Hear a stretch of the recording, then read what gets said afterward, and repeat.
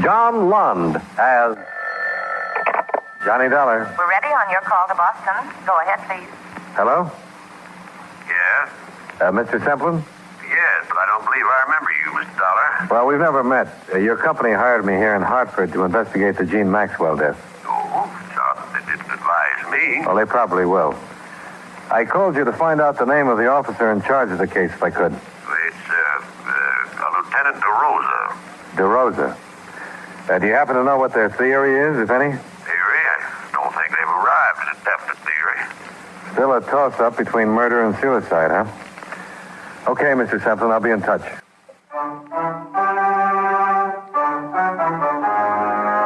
Expense account submitted by Special Investigator Johnny Dollar to Home Office, Corinthian Life Insurance Company, Hartford, Connecticut. The following is an accounting of expenditures during my investigation of the Jean Maxwell matter. Expense account item one, 75 cents. Phone call to Boston, advising your manager there of my assignment. Item two, $28, car rental and mileage from my Hartford apartment to police headquarters, Boston.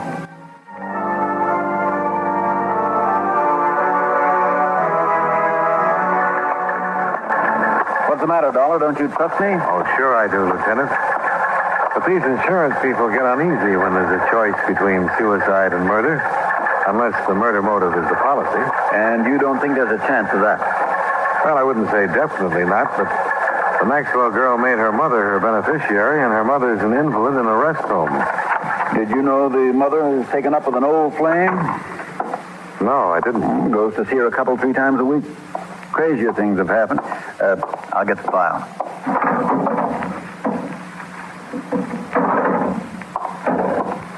Sit down. Yeah, this is all we've got so far, pending coroner's inquest and autopsy report. Uh, here's a photo of where she was found. Huh. Shallow water. That's the bridge? Yes, she was lying right about there. But I don't think you have to worry about suicide, Dollar. As far as I'm concerned, it wasn't. Yeah, I'll buy that too. I wouldn't say this bridge is a suicide type. Too low. Yes, and there's another thing. I've been on the force for more years than I like to count, and I've run into my share of suicide. I've never known a woman to do it this way without taking off her coat. Oh? Usually shoes, too. I've learned that part of a generally accepted pattern. The Maxwell girl didn't fit the pattern. Uh-huh. Here's the way she looked. Coat on, belt still tied, shoes, and her purse is missing. We're dragging the stream for it. Uh, How old was she? 21. She was a beautiful girl. How much questioning have you done, Lieutenant? Not as much as we'll do after the inquest. When'll that be? Day after tomorrow. Do you want anything more here? No, no thanks, Lieutenant. I'll check with you later. I drove out to the stream where they'd found the girl's body, and there chalked up another point against her death being a suicide. The bridge from which she dropped was a good four miles from town. Boston had better bridges to offer within its limits. I followed the river bank and found the approximate spot from which the police photograph had been snapped.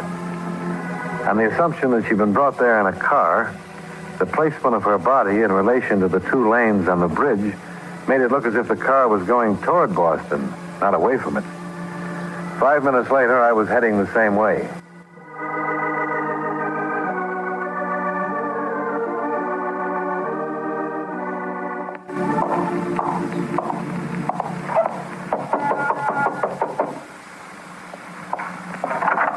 So, Uh, Miss Mary O'Neill, yeah? the manager suggested I come up. He told me you shared this apartment with Jean Maxwell. Yeah, that's right. Who are you? My name is Dollar. I'm from her insurance company. I'd like to talk to you about her if I could. I suppose so, but there's nothing I can do now. This is the biggest shock I ever had. I always said there'd be trouble, but I never thought she'd do anything like this. Maybe she didn't. What's that supposed to mean? Well, there are signs that say that maybe she didn't commit suicide. There are? Do you think she had any reason to? Well, that's what I said. I never thought she would. Sit down any place. Thanks. Did you say uh, you expected trouble? Yeah. I kept telling her. It was the way she went. Like she couldn't live fast enough. Like there wasn't enough time to get everything done. She's been like that ever since she got rid... I mean, her mother went into that hospital. Jean was all tied down taking care of her before. Well, what could have caused trouble? Well, I'm not saying she was wrong or anything, but there were too many men. Do you mind telling me who they are? I don't know. Only about one, Harold Corey. He's gone with her the longest. He's a big blonde truck driver. Harold Corey. Yeah, he drives for the Seaboard Trucking Company. Sometimes he goes way out to the West Coast. And while he was gone, Jeannie didn't stay home and catch up on her reading, if you know what I mean. Yeah, I think I do. Out with a different guy almost every night. I didn't pry, but she'd never tell me who they were. You think somebody killed her, don't you? Would you help me try to find out? What could I do? Well, you didn't want to pry, but I get paid to. I'd like to look at her things. I suppose it's my duty, sort of, isn't it? Well, in a way it is, yeah, but I can't force you to. Oh, I know it's the thing to do. Some of her drawers are locked, but I'll show you what I can.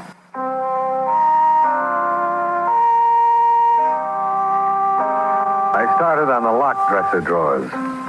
They gave up and opened after a brief struggle, but contained on the whole things that might normally be locked up because of their value. Imported perfumes, expensive lingerie, and some jewelry.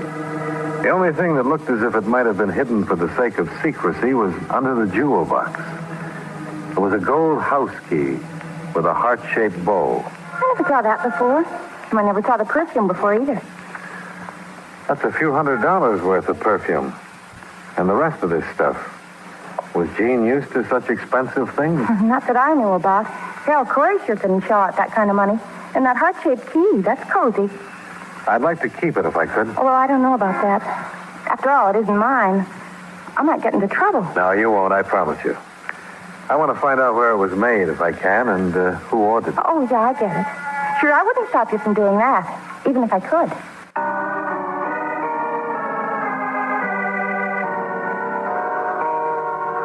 Phone call to the Seaboard Trucking Company gave me the information that Harold Corey was out on a run to Philadelphia, but was expected about 3 in the morning.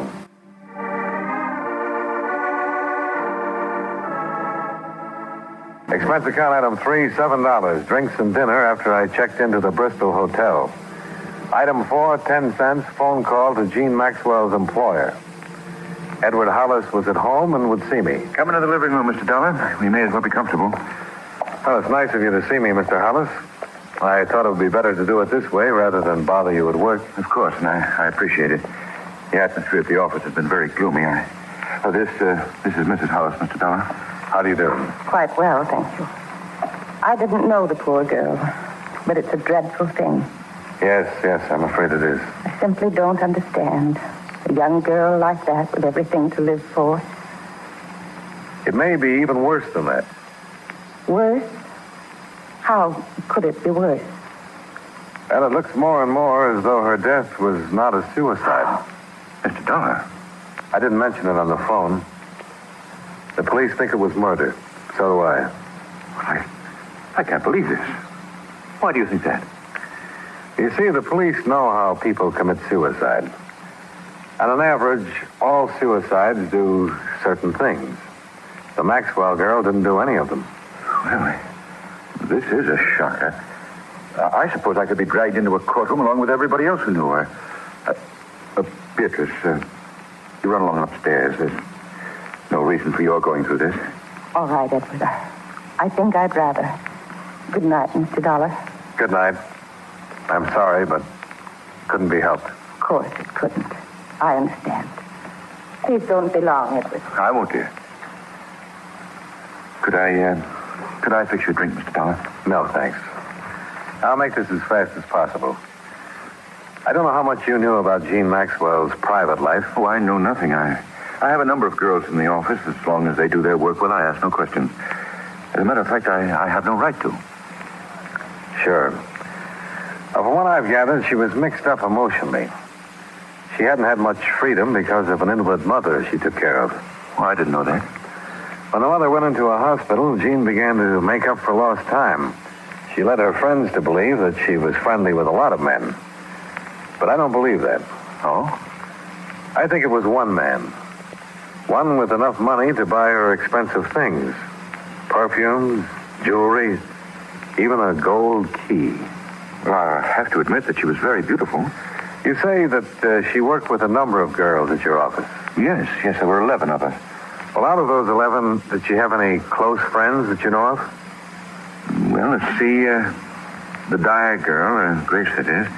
Uh, they seem to be quite friendly. I, I couldn't be sure of any of the others. Oh, would you give me all their names then? Uh, I'd like to talk to them. Of course.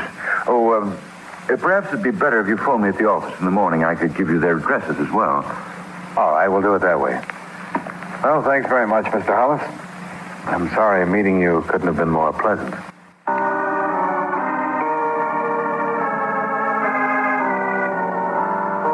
Next morning, I had a list of 11 feminine names and the address of Harold Corey, Jean's truck driving friend.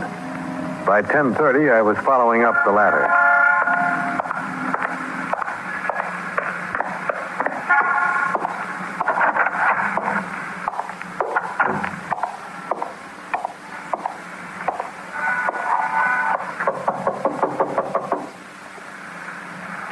Come back later, will you? I can't see anybody now. I'm an investigator from Jean Maxwell's insurance company. I want to talk to you about her. Oh, uh, wait a minute.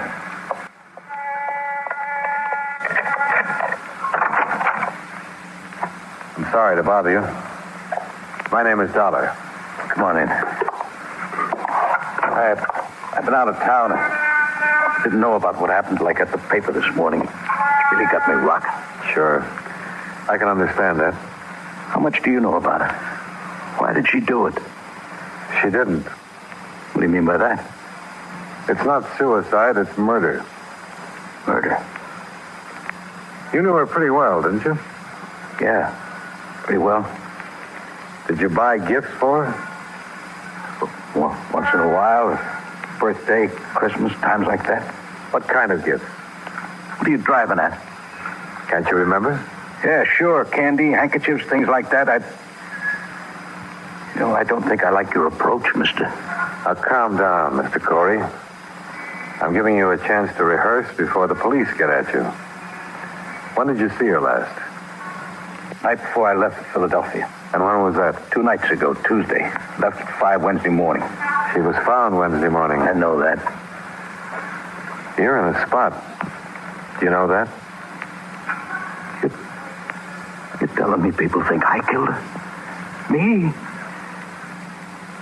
I, I loved her. I wanted to marry her. I'm sorry, friend. In this situation, that's a motive, not an alibi. Get out of here, will you? Get out and leave me alone. You're not helping yourself with this act. You're making it worse. Get out.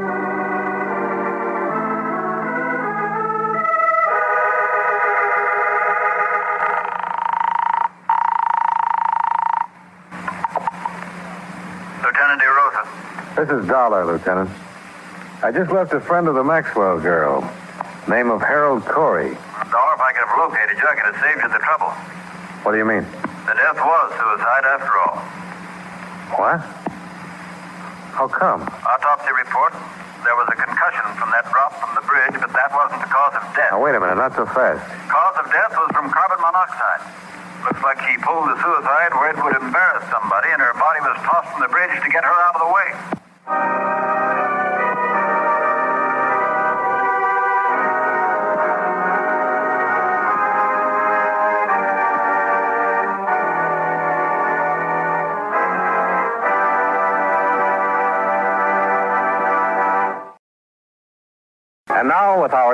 star, John Lund, we bring you the second act of Yours Truly, Johnny Dollar. Oh, hi, Dollar.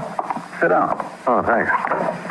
Here's the autopsy report. Death by asphyxia caused by presence of large amounts of carbon monoxide, agent unknown. That's it, probably automobile exhaust. That's the most popular these days. Huh. You believe this, Lieutenant? I believe what's on the report. And how did you say she got into the river? I said maybe she committed suicide somewhere so that somebody would get involved. To get rid of her, she was probably dumped in the stream. What's the matter, Dollar? I thought you'd be happy with this suicide evidence.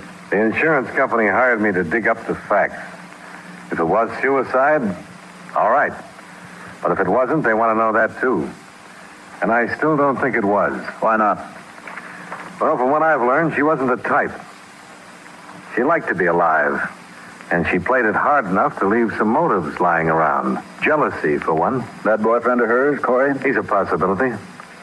I talked to him, and for my money, he deserves checking. And then there's, uh, this. What does this unlock? I wish I could tell you. But it was undoubtedly given to her by somebody. I'd like to know who. You think you could put a couple of men on it? Find out where it was made?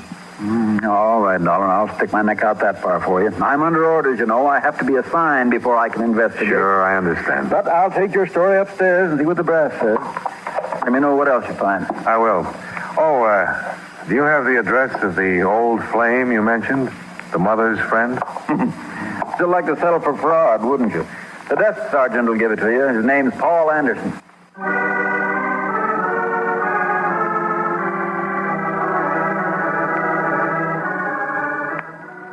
I'm from Jean Maxwell's insurance company, Mr. Anderson. Wonder if you could spare me a few minutes. I yes, I suppose so. Come in. You're the adjuster so soon? No, I'm an investigator. Oh. I didn't know she had a policy. No, she did. $25,000 to go to her mother. I see. But her death has been classed as suicide, which voids the policy. The two-year self-destruction clause is still in effect. Now, that's a pity. Now, why do you say that? The least you could have done for poor Mildred. That's her mother? Yes, an extremely young mother. Who has almost ruined her life for that girl. I didn't know that. The daughter was born when Mildred was only 17, and she was left to care for the girl herself. I've helped as much as I could. I don't want you to misunderstand. There's nothing to be hidden. I suppose it is unusual. I did meet Jean first. But when she took me to her home and I met her mother, I realized that Jean was, well, no more than a cheap little opportunist. The complete opposite from her mother. As I say, I suppose it is unusual. Oh, that doesn't make any difference. The point is that you dropped the girl in favor of her mother. Is that it? It wasn't the gross situation you evidently wish it had been. Now, look here, this has gone far enough. You've asked me these questions for only one reason, so that you can draw your own conclusions. You think I sent Mildred to the home to get her out of the way, now don't you? Well, that is not the case. But you can think what you like, and go ask Mildred if you care to. No, I won't bother her. You know anything about a gold key that Jean had? A gold key? No, I don't know anything about a gold key. I've known very little about Jean at all these past months. So many people seem to know so little about her.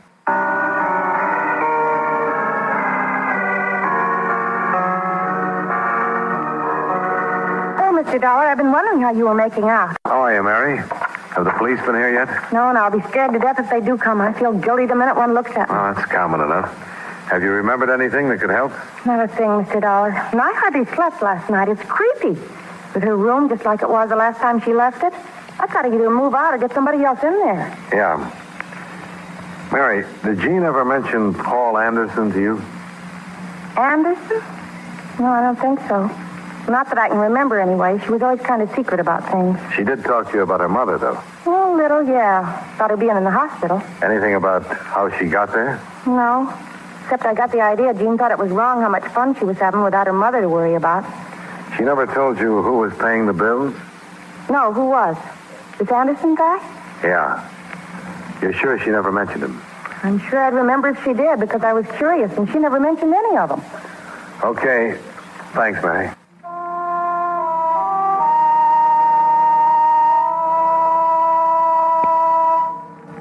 I checked that night with six of the 11 girls who had worked, lunched, and chatted with Jean Maxwell.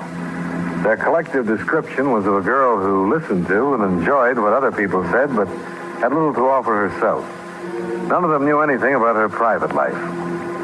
But the next morning, the police located a goldsmith who said he remembered making the heart-shaped key. I went out to see him and then got back to Lieutenant DeRosa. How'd you make out with that fussy little man, Dollar? Well, we found the day the key was ordered, and he remembered a few things because a councilman's wife came in that same day. What? A customer, Carter was the name he gave, mentioned a cottage on the bay. Well, that's east. And the girl's body was found northwest of here.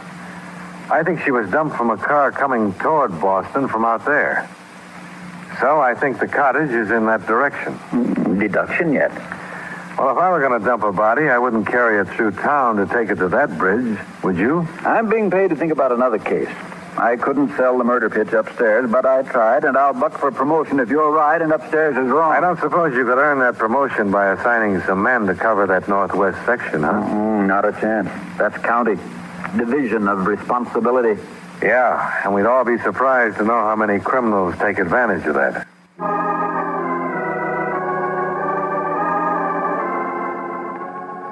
Expense account item five, $35 mileage. Covering a two and a half day canvass of real estate offices northwest of town.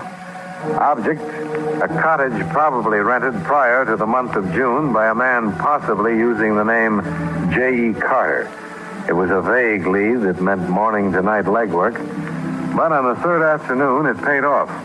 We don't rent much up here, is why I remember. Uh, now, she was a dark haired girl, is that right? That's right. Mm-hmm. The Anson place out on Birch Road. Has anybody been there in the past few days? Not that I know about. They used to be there every two or three days, too. Hmm. How was the rent paid, cash or check? By, uh, um, a ca- cashier's check. Or was it regular, a definite day of the month, I mean? And do you know the bank? Yes, yes, I do. Between the first and fifth of each month since May, a check on the commercial bank. Thanks. Now, I'd like to ask one more favor. Would you take me out to the cottage? I certainly will. It's a police affair. I'm not in, I'm not the one to stand in the way.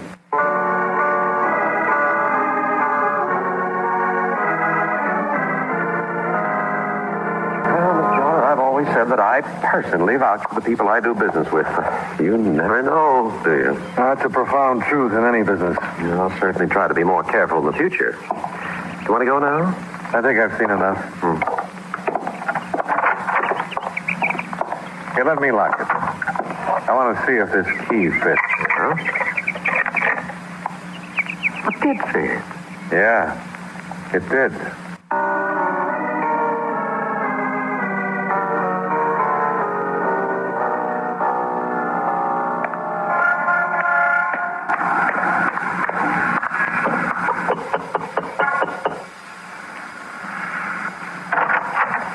Hello, Mr. Hollis. May I come in? Well, yeah, yes, of course. Well, I, I didn't expect to see you again. Didn't you, Mr. Hollis? You thought you'd get away with it? What did you say? No, there's no reason to be clever with each other. I know you killed her. You rented a cottage out beyond Mystic River. You used the name J.E. Carter. Come into the other room. Yes, you're, right. I, I did become infatuated with her. If you'd known her, you'd understand. I realized last week that it had to stop, and I told her. She's been with that young Corey boy. I told her even if I was single and eligible to marry her, I would advise her to hang on to him, someone her own age. That was last Tuesday night. Yes. She left the cottage, and I heard her drive off. Or at least I thought I did. When I went out, I. I learned what she'd really done. She committed suicide in the car. You could hardly blame me for wanting to keep the secret. It wasn't suicide, Mr. Hollis. You know it, and I know it. All right, Mr. Dunn. I'll make my statement to the police. Fine. I'll drive you down. Thank you.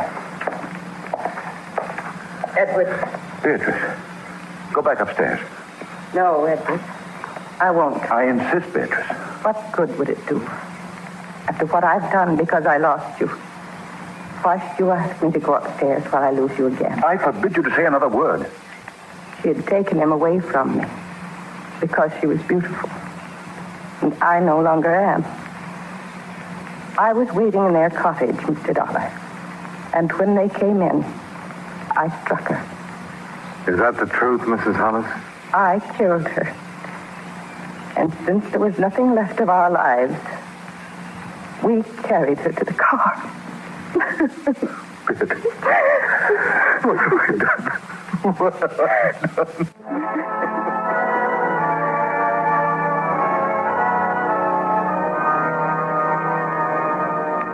Expense account item six, $110. Final bill for car rental. Item seven, $85 miscellaneous. Expense account total $265.85. Remarks I don't know what sticklers the Massachusetts courts of law are, but Jean Maxwell was not killed by the wronged wife.